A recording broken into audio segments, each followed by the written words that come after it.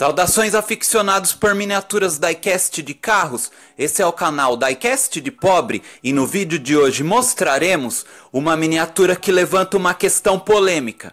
Será essa a miniatura mais bem construída de 2021? Acompanhe o nosso vídeo aí.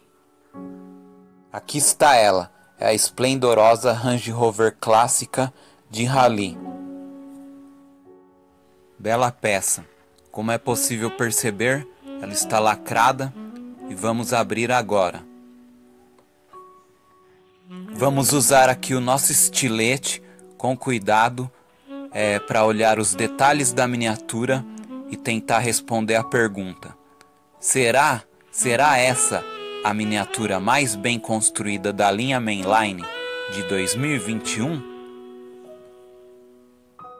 Agora sim, com a embalagem aberta, vamos olhar de uma maneira mais pretensiosa, buscando os detalhes da Mini.